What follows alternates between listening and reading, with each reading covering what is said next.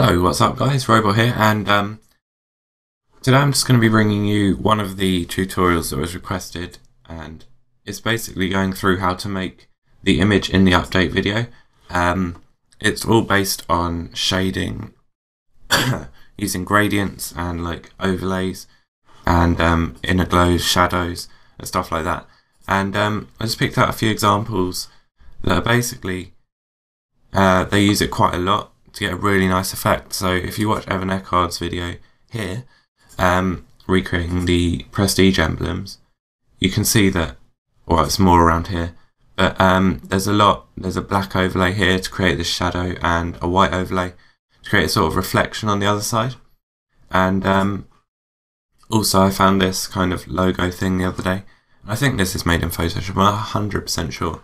But um, the reflections and shadows kind of stand out a lot.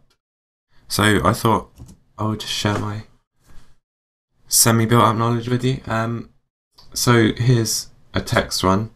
Um, this is the same font I used in the update video. If any of you haven't seen that, I can probably try and find it for you quickly. Um, yeah, here we go. Okay, so this is the um, update image, which didn't really take that long to do. Um, yeah, so I'm going to get straight into it. What you want to do is first rasterize the text. You want to have it a colour though, you can't have it, well you can do it grey I guess, but it won't be as good an effect. So I'd go with either green or orange or something like that. A bright colour usually works. Okay, so now what you want to do is um, you want to sort of assess how you're going to break it up. Like with the update, um, I linked a D and a P, and here you could link a G and an O, I guess, but your text is probably going to be different because there's not really much point doing it on this. And you want to um, zoom in, and I've decided I'm going to fold the L over. So you want to select your um, polygonal lasso tool and just click under the top or wherever you want to fold it. If you hold down shift to make it a nice straight line, drag it down like that, drag it up and round and select the top of the L. You want to right click on the selection and click layer via cut and you'll see that creates a new gradient, but not to worry, we'll sort that out in a bit. And then go to Control or Command T and rotate 180 degrees. And then just drag that down so it looks like it's been folded over like that. Okay, so now what we want to do is I'm just going to go to Gradient Overlay and take that off. And select Color Overlay and just select an orange at the top here. It doesn't really matter what kind of orange and make it a bit brighter. There we go. And select OK. And now you want to create a layer in between these two layers. And get your brush. You want to bring the hardness down to make it a soft brush right to zero. And make your brush just, that's about perfect size I'd say. So um, do it to scale to that and just click underneath to create a sort of shadow like that. And it doesn't matter because we're going to delete the unwanted stuff. So if you just control or command click on your text thumbnail, should make a selection like that. Right click, click select inverse, and then just hit delete. And um, anything that's left you can just clear up with a hard brush. So bring the hardness up and size down. Like so. You think that um, that shadow isn't like deep enough, you can always duplicate the layer and to make it a bit a bit more, well, a bit stronger. And um, as you can see, that looks like a nice fold over, but if you, you can add more effects to that. So for example, you need to assess where the light's going to be coming from. So if we create a quick new layer, this isn't necessary at all. Um, I'm going to say the light's coming from that direction. And if you want to um, get a soft brush again, a bit smaller this time, and just create a sort of a little glow here and just set blend mode to overlay.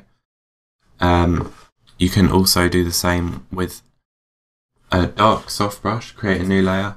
I always create new layers for black and white overlays because they overlay different. And then just go to soft light. And then if you just control or command click on the folded bit, go to right click, select inverse, and then delete the black from there. Deselect.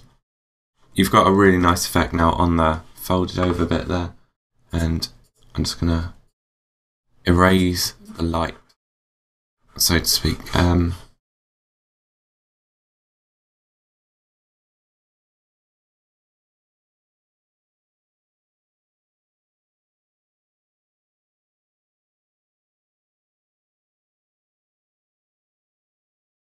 Okay, there we go. So we got a nice light effect. Sometimes also, um, I apply a bevel and emboss set, setting, size 0, depth all the way up, and I just take off the black and set the blend mode to overlay for the white.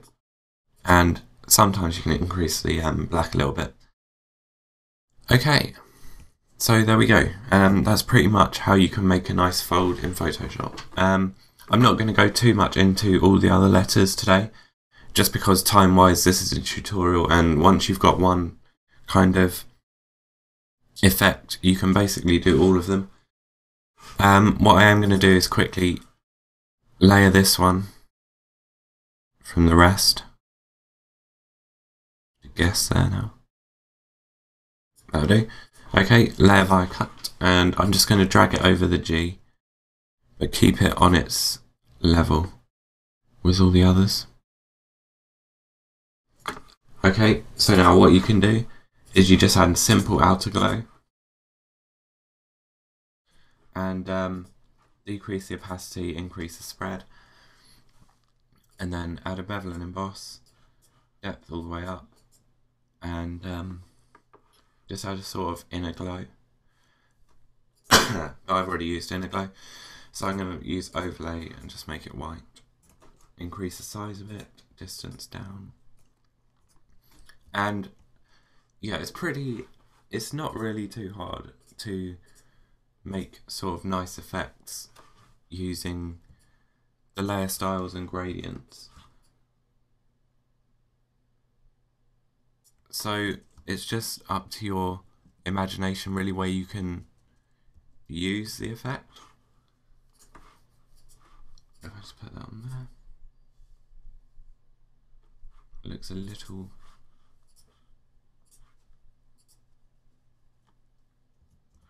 Alright, there we go. Just as a simple effect.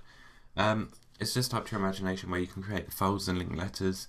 This perhaps wasn't the best example for linking letters, but you know, um, what you could do, which I've just thought of, but I won't go into it in too much detail, is if you create a new layer, come down here and you see where the G goes up to the other G. Um, what you could do is just create a nice soft black gradient here. Um, so I'm going to go with 50 and just select inverse and delete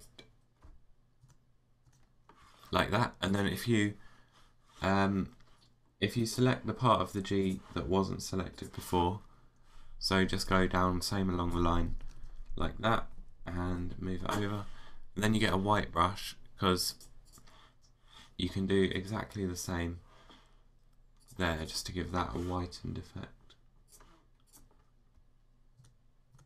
Like so, and that obviously you'd have to spend a bit more time on that to make it look good, but it's all about knowing where to put the the gradients really. Okay, so now I'm going to hide the text layer and I'm going to open up this sphere which I did earlier you can also use this effect on um, shapes, just like I showed in the example. You kind of want to um, see where the shadows are going to be and the um, the highlights, that's the word I'm looking for. So if I take this step by step, I took a normal sphere and I've just added a simple gradient on which I had to rasterize just to make it, I don't know why I did that, it's not necessary but I did. Um, and I used the opacity 11 on black with a size 140 shadow just to give it more of a gradient. And then this was a simple shadow that I added. So first of all I just added if you get your elliptical marquee, marquee tool drag this up create a new layer and then add a larger white brush. So I'm going to go with about 700 or you could do that doesn't really make a difference and then I'm just going to click overlay or soft light. That actually gives quite a nice effect. That's like a giant red button or something. And then if I click this one, I, I added another shadow, which was just a general white shadow on this half of the screen here. Can't see what I'm doing because it's yeah. So I added a white shadow over here, and I added a black shadow over here, but they were on different layers because if I go overlay, now the white looks alright there, but the black sort of is a bit too dark, bit too much saturation there. So I'm just gonna lower the opacity to about 50, so you can't really see the white anymore. But I think that's perfect for the black. And then I added on top of that a a more um, a harder brush sort of to create more of a in-depth shadow and then I did the same with a white brush on the other side here so that's created a sort of 3D sphere if you like um, and it's a great effect to apply to shapes and text in Photoshop to make 2D look a bit more interesting and yeah, so that's pretty much that for the um, gradients and shading. Now if I was to create a new layer and just merge sphere, that's not going to work so well. Um, if I just create a sphere, select inverse and then delete that because it's not going so well. Now if I merge all the layers together, that should look better. Um, what you've got on this side is a dodge and a burn tool. Dodge makes things, um, it will highlight the highlights more. So if you get a hard brush and you sort of want to go where the light is, um, you can adjust your exposure to. And I'm going to make a really large brush and just go on that side. And if you do the same with your burn tool, um, create a really large brush and just go on this side. Now that's sort of exaggerated the effects, but you get what I mean. You can use that as well to um, really give some great effects. So that's pretty much that for the tutorial guys. If you um, if there's any questions I didn't answer, then leave a comment in the description um, in the comments and I'll see if I can answer it uh, through text. So yeah, thanks for watching and I'll see you guys later.